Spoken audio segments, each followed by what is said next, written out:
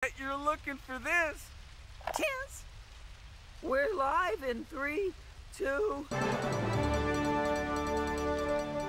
Anarchy, destruction, utter chaos. Images captured by the only man bold enough to bring them to the big, uh, small screen. Me, Nigel Beaverhausen, writer, producer, director. I'm speaking, of course, of the now famous World Destruction Tour. For weeks I trekked the earth with the world's top skaters, becoming so close with them we practically shared the same breaths. So, without further ado, here is the compelling, nay, gripping story of the World Destruction Tour! Brought to you by Nigel Beaverhausen.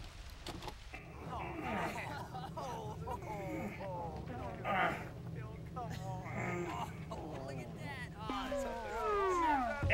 where the toilet paper? I need some toilet paper up here. Oh, man. Look at it. Look at his tummy. Thank you, world, for tuning in. And before we go, we'd just like to leave you with one little thing.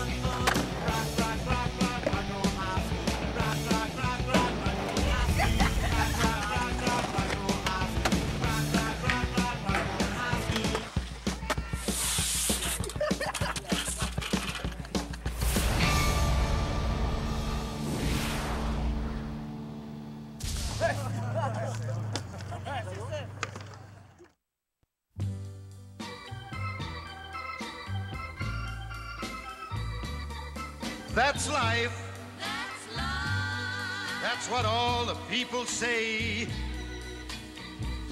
You're riding high in April, shot down in May. But I know I'm gonna change that tune. When I'm back on top, back on top in June. I said that's life. Good evening. Here are the stories making international headlines. Crowds of adoring fans mobbed the home of Paulie Wheels of Fury Ryan today. When asked about his newfound celebrity, Paulie told the female reporter, Hey, lady, let's see them sweater pickles. Over on stop! It keeps spinning around. I've been a puppet, a pauper, a pirate, a poet. a pawn and a king. I've been up In Barcelona, many Spaniards are upset that their national pastime, the running of the bulls, is quickly being replaced by the new, more wildly popular sport of snap a bull in his beanbag with a rubber band, then run like freaking hell. and get back in the race. That's life. I tell you, I can't deny it.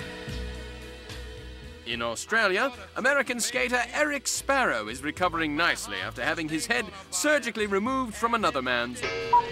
When asked about the incident, one official simply said, well, he certainly gives new meaning to the term butthead. and then I'd fly. I've been a puppet, a pauper, a pirate, a poet, a pawn, and a king. Reports from New Orleans state that zombies have taken over the French Quarter. However, a closer investigation shows that the zombies were actually just really pasty drunks who haven't seen the outside of a bar in months. I just pick myself up and get back in the race. That's life. Wannabe TV producer Nigel Beaverhausen, now known as the Screaming Inch, is wanted in 973 different countries around the world for, quote, flashing patch. But if there's nothing shaking come this here July. And finally, Tony Hawk and Bam Margera, the founders of the World Destruction Tour, have been officially banned from ever returning to Boston, Barcelona, Berlin, Australia, New Orleans, and even Thailand. Upon hearing the news, Tony and Bam replied, Hey, good call. I'm gonna roll myself up in a big ball